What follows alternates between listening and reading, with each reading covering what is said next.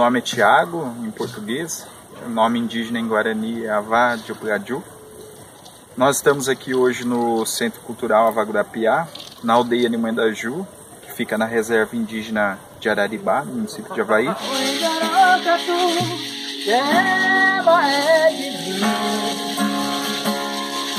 Nós somos da etnia Guarani Nhandeva. Nós estamos aqui nessa terra indígena há mais de um século e o nosso povo migrou do Mato Grosso, da região de Guatemi, e permaneceu aqui nessa área é, desde o final do século XIX até hoje, no século XXI.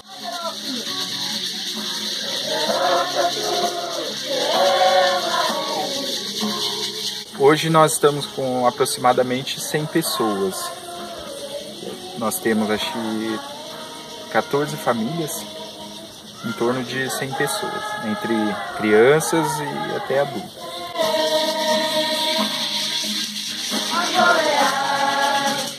Onde nós apresentamos canto de dança, exposição de artesanato, é, exposição de plantas medicinais. Então, é um local onde a comunidade hoje é, tem o hábito de se encontrar mais vezes para poder desenvolver essas atividades culturais.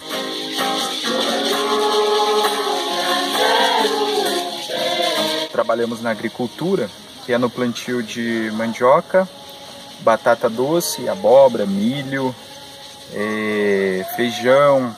Então são algumas da, das plantas que nós produzimos aqui na comunidade para consumo da aldeia e também para venda para cidades, nós fornecemos para a cidade também.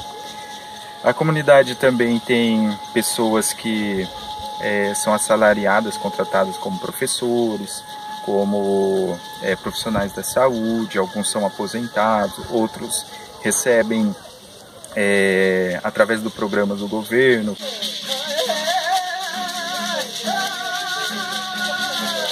da cultura indígena, tem seus representantes como autoridades, que é o cacique, que é a autoridade maior, o vice-cacique, que também ajuda o cacique, e as lideranças que apoiam o cacique e o vice-cacique.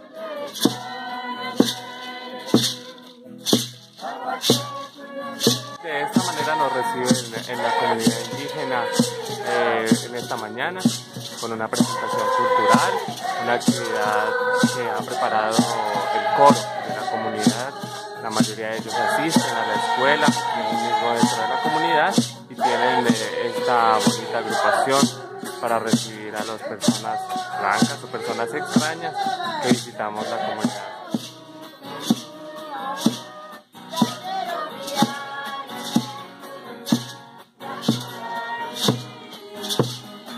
Eu sou professor aqui na comunidade. A comunidade tem uma escola que é do pertencente a, ao Estado, governo do Estado, Secretaria Estadual de Educação. Todos os professores são indígenas, os alunos são indígenas. A escola ela trabalha o fortalecimento cultural, fortalecimento linguístico da língua guarani andeva e outros aspectos culturais de importância para a comunidade. Esse caminhar em círculo, né? Eu acho que é uma simbologia do mundo, né, da onde a gente vê essa representação circular. E para onde a gente caminhar, nós vamos acabar voltando sempre no mesmo lugar, né? Então essa é a, a intenção, de entender o quanto nós buscamos nosso objetivo, mas sempre o final é o início. Né? Então é uma, uma representação é, simbólica do mundo e da nossa vida circular.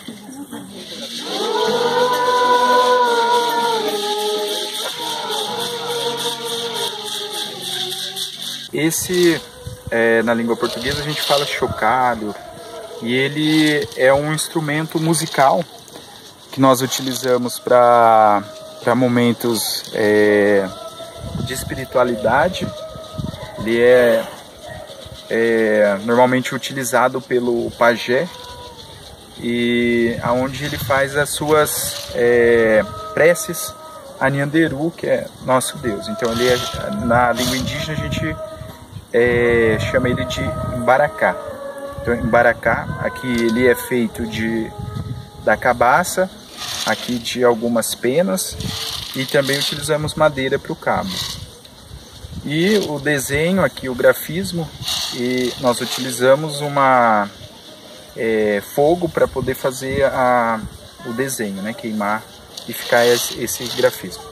Tem também aqui, esse é um, a gente fala canguá, que é o objeto para a cabeça, é o enfeite da cabeça.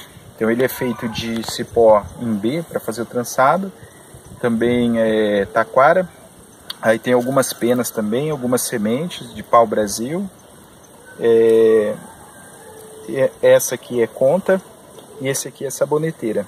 E algumas penas de alguns pássaros. Né. Esse também é uma, uma, um bracelete feito de bambu e guaimbê.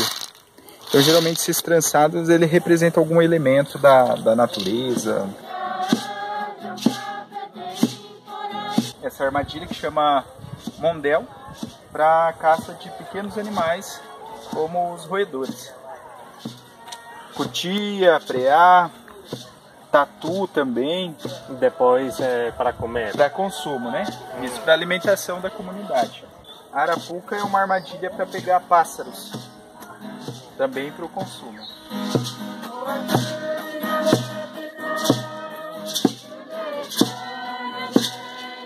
Hoje, as pessoas que vêm na comunidade e conhecem a cultura indígena, elas passam a ter um outro pensamento, uma outra imagem do indígena e elas passam a respeitar é, a cultura indígena e o indígena. Então ela passa a ter uma outra visão do indígena.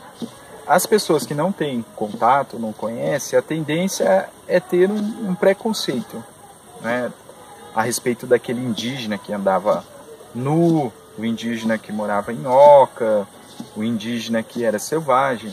Então essa ainda é a visão daquele daquela pessoa que não tem contato. Né? Então, aí acaba gerando um preconceito.